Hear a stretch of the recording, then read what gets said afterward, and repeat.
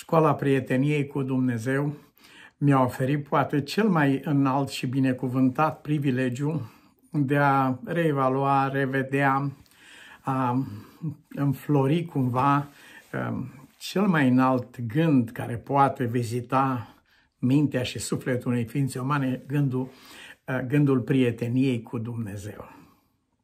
Vă mulțumesc celor care mi-ați dat acest prilej.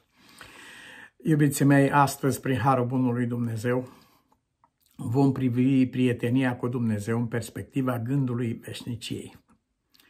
Prietenia și gândul veșniciei. Dacă mergem în binecunoscutul text din Eclesias, capitolul 3, versetul 11, constatăm aici că în inima unui om a fost așezat gândul veșniciei. Aceasta îl deosebește de orice altă ființă. A spune că ființa umană provine dintr-o altă ființă biologică uh, este uh, sub nivelul adevărului. Am învățat împreună în câteva ocazii precedente că mediul în care a fost creat omul, în care se mișcă și are viața, este Dumnezeu. Când a creat peștii, Dumnezeu s-a adresat mediul, apei, aerului, pământului. Când a creat omul, Dumnezeu s-a adresat ție însuși. Și din acest dialog cu sine însuși s-a născut omul. Pavel Apostolul nu ezită pe înălțimile lui Marte să spună în el, adică în Dumnezeu, avem viața și mișcarea. Ceea ce înseamnă că el este mediul în care ne mișcăm, după cum peștele se mișcă în apă sau animalele pe pământ sau păsările în aer, omul se mișcă în Dumnezeu. E o expresie pe care o folosea și înțeleptul Țuțea. Ai pus în inima lor gândul veșniciei. Vorbind despre prietenia cu Dumnezeu, nu avem la ce să ne referim decât la uh, lucrurile uh, din viața aceasta. Uh, suntem acuzați de antropomorfism, dar ce altceva, cu ce am putea vreodată să înțelegem pe Dumnezeu decât cu propria noastră viață și prin, prin prisma propriei noastre vieți. Viața noastră este o lentilă, cu alte cuvinte, este un instrument, este o ilustrație. Acest lucru nu reprezintă adevărul despre Dumnezeu, dar reprezintă mijloacele pe care Dumnezeu le folosește ca să-L putem înțelege. El întreabă, care om dintre voi ați face așa ceva? Niciunul. Bun, dacă voi care sunteți răi nu ați face treaba asta, cu atât mai mult Tatăl vostru cel ceresc. Domnul însuși ne conduce pe acest drum al antropomorfismului. Uh, într-adevăr, el a luat chip de om, dar nu numai atât. E mult dincolo de aici. Iubiții mei, astăzi vom privi prietenia cu Dumnezeu în lumina gândului veșniciei. Cu ce aseamănă, ce ilustrație folosește Dumnezeu pentru ideea prieteniei cu Dumnezeu. Voi sunteți prietenii mei. Abraham, prietenul lui Dumnezeu. Vorbea cu Moise cum vorbește un om cu un prieten. Ilustrația pe care o folosește Dumnezeu este căsătoria. Este mireasa, biserica și este Isus, mirele. Cartea Apocalipsei emite adevărate unde de fericire cerească atunci când vorbește despre nunta mielului. Ați observat însă că este un exemplu limitat, mărunt, această uh, nuntă în perspectiva prieteniei cu Dumnezeu. Pentru că uh, jurământ, în jurământul de la căsătorie există fraza aceasta până când moartea ne va despărți. Aici căsătoria se oprește. Aici se oprește legătura aceasta. Nu se poate aplica însă la Dumnezeu, de aceea am spus Dumnezeu este atât, dar este mult dincolo. Și atunci la Dumnezeu nu există această limită pe care noi o punem uh, căsătoriilor noastre. Datorită acestui uh, vom rămâne împreună și datorită gândului sau exclusivității căsătoriei, mulți tineri au ezitat și evitat să se căsătorească. Ei nu vor să intre în niciun fel de relație permanentă sau care obligă. Trăim într-o uh, generație a lucrurilor de unică folosință, temporare, a clipurilor de câteva secunde, uh, ființa umană și-a pierdut complet răbdarea, span, uh, uh, uh, banda de atenție a minții noastre s-a redus enorm de mult, în timp ce înainte un om putea să stea concentrat un timp foarte îndelungat, astăzi concentrarea dispare uneori în, în primele secunde, în primele minute. De aceea, ă, având în vedere că stăm în, suntem într-o astfel de situație, ar, e înțelept și frumos și bine să revenim la ceea ce Dumnezeu a așezat în sufletul lor, nu atenție pentru o clipă, două, ci gândul veșniciei. Căsătoria aceasta spiritual misterioasă dintre mireasa Domnului Isus și mirele Hristos, nu are ca hotar sau ca frontieră moartea. Nu, împotrivă.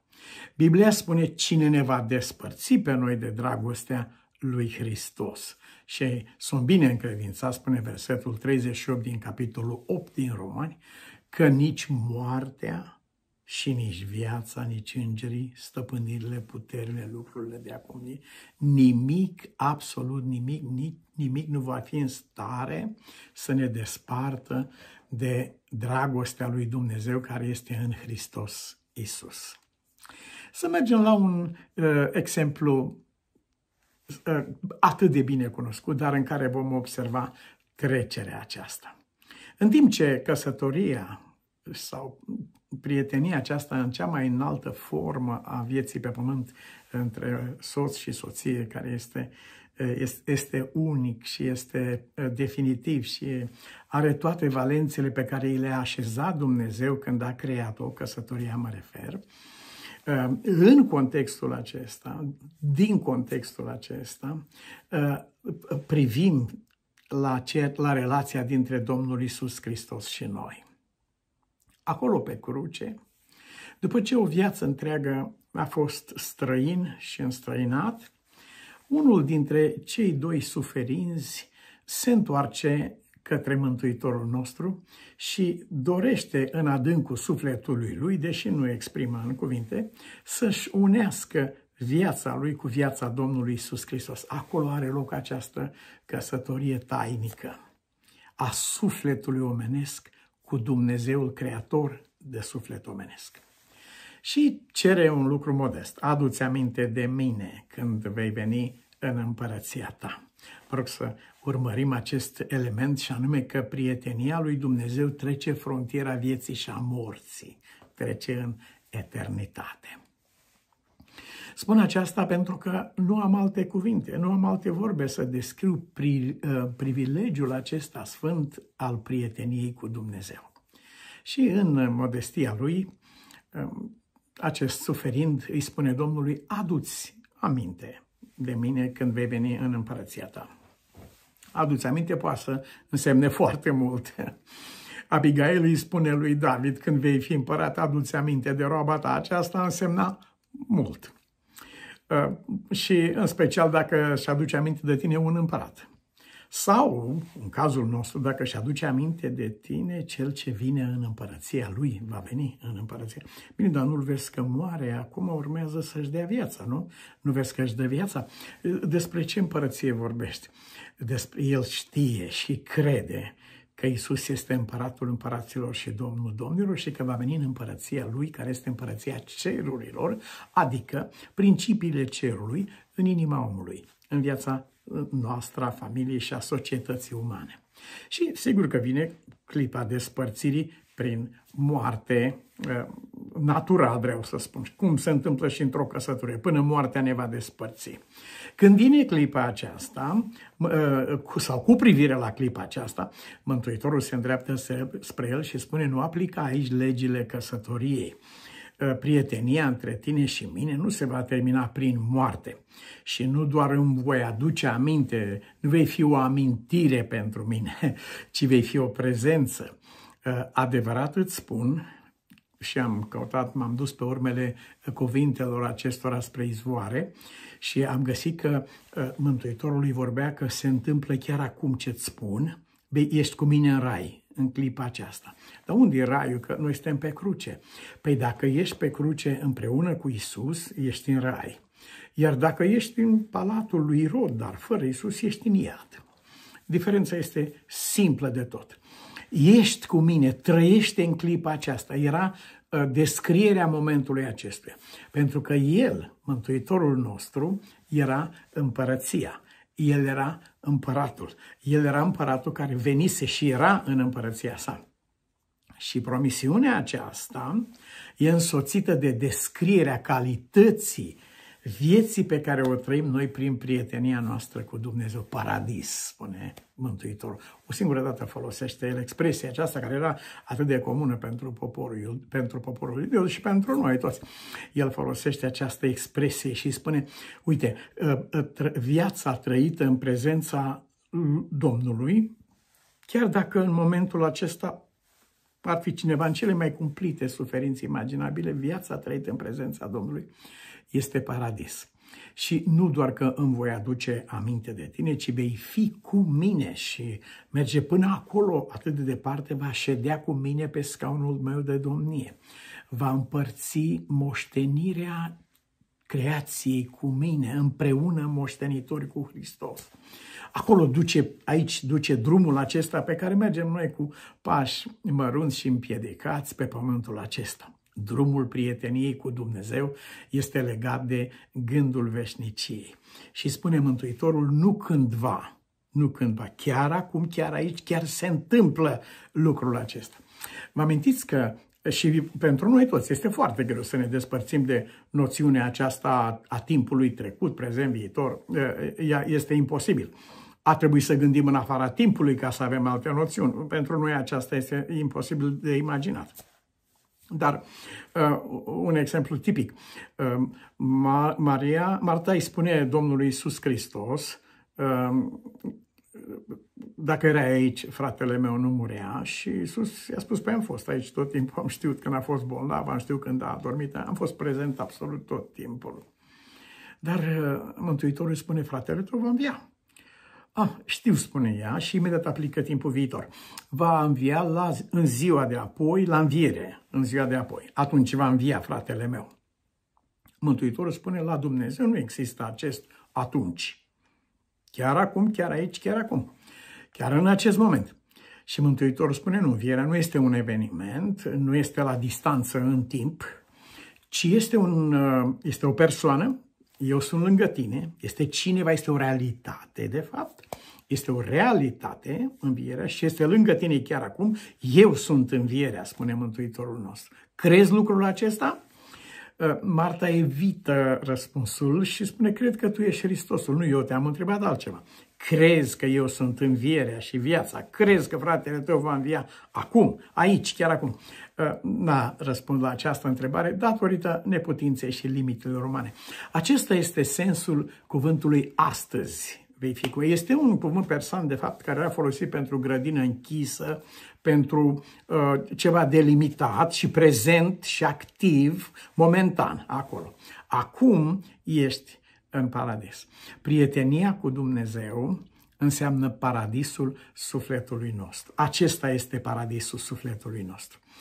Părintelui nostru Abram, prietenul lui Dumnezeu, i-a fost descris lucrul acesta în Genesa, capitolul 15, în cuvintele, Eu sunt răsplata ta cea foarte mare nu putem să înțelegem. Bine, pentru că imediat părintele Abraham întreabă, bine, bine, dar ce îmi vei da? Nu, eu ți-am spus cine este răsplătirea ta și tu mă întrebi ce este răsplătirea ta.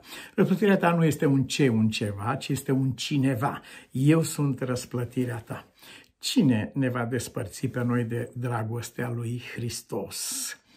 Păi în cazul căsătoriei, moartea. Până moartea ne va despărți. Nu, spune Pavel, în cazul uh, prieteniei noastre cu Dumnezeu, în cazul uh, mirelui Hristos și miresei biserica, aceia care suntem noi, de fapt, biserica suntem noi, uh, în acest context, nu se poate rosti fraza până moartea ne va despărți, pentru că nu există despărțire. Niciodată nu există despărțire în, cazul, în, în prietenia cu Dumnezeu din partea Lui către noi. Nu se întâmplă lucrul acesta. Pe el nu-l împiedică adormirea vreunuia dintre noi sau predarea Duhului în mâinile lui, așa cum a spus Ștefan. Nu, acest lucru pentru, pentru el toți sunt vii. Pentru noi, ca oamenii cei morți nu știu nimic, dragostea lor a pierit, ura lor a pierit, s-a stins totul, moartea ne desparte, nu își vor mai aduce aminte, nici ei nu mai au parte. Este Eclesias, capitolul 9, pentru noi. Pentru el toți sunt vii și prietenia lui Dumnezeu cu noi rămâne în veci. Așadar, uh, cuvintele pe care apostolul le spune în epistola către romani, în versetul 38, sunt bine justificate. Nici viața, nici îngerii, nici moartea, nici stăpânirile, nici puterile, nici lucruri de acum, nici cele viitoare, nici înălțimea, adâncime, nici o altă făptură nu vor fi în stare, adică nu se poate să ne despartă de dragostea lui Dumnezeu care este în Hristos Isus. El este acela despre care Ioan scrie în cea din tâi epistolă a sa. Mărturisirea este aceasta. Dumnezeu ne-a dat viața veșnică și această viață este în Fiul Său. Ne-a dat. Vei, ești astăzi, ești cu mine în paradis. Dumnezeu ne-a dat viața veșnică, această viață este în Fiul Său. M-am scris aceste lucruri ca să știți că voi care credeți în numele Fiului lui Dumnezeu aveți viață veșnică. Legalismul privește lucrul acesta ca un eveniment în viitor și ca un fel de salariu pentru umblarea lor în legalism. Ă, să ne păzească Dumnezeu de acest munte Sinai care cheamă la robie Uh, și este Agar, despre care vorbește Pavel uh, în această alegorie. Dar scrie cuvântul lui Dumnezeu, vouă v-am scris ca să știți. Voi care credeți în numele Fiului Dumnezeu aveți viața veșnică. Știm că Fiul lui Dumnezeu a venit și ne-a dat pricepere să cunoaștem pe Cel ce este adevărat misiunea Domnului Isus. Aceasta e misiunea Domnului Isus Hristos. Nu este să convingă pe cel ce este adevărat, să-l duplece, să îl roage să nu ne omoare, să plătească, să-i dea sângele lui, să fie chinuit în locul nostru ca să fie satisfăcut cel adevărat. Nu. El ne-a dat prilejul să-L cunoaștem pe cel adevărat, adică pe Tatăl. Și dacă vrem să înțelegem, la temelia a, a, prieteniei noastre cu Dumnezeu, la temelia uh, vieții veșnice promise, stă nimic altceva decât iubirea Tatălui. Pentru că atât de mult a iubit Dumnezeu lumea, de aceea s-au întâmplat toate aceste lucruri. Ele nu s-au întâmplat ca Dumnezeu să iubească lumea, ci pentru că Dumnezeu a iubit lumea, adică pe mine și pe tine, s-au întâmplat toate aceste lucruri. Și noi suntem în Cel ce este adevărat, adică în Isus Hristos Fiul lui. El este Dumnezeul adevărat și El este viața veșnică. Înseamnă că acest cuvânt uh, care ne-a fost scris în epistola lui Ioan este adevărat. Prietenia lui Dumnezeu cu noi va dura în veci. Prietenia noastră cu Dumnezeu nu este pregătită până moartea ne va despărți, ci este pentru totdeauna. Mărturisirea este aceasta. Dumnezeu ne-a dat viața veșnică și această viață este în Fiul Său. Binecuvântă, Tată, te rugăm, pe toți cei care sunt însetați după prietenia cu Dumnezeu. Învață-ne în fiecare zi știința Sfinților, care este umblarea cu Dumnezeu. Și rămână harul Tău peste noi toți, prin Domnul Isus Hristos. Amin.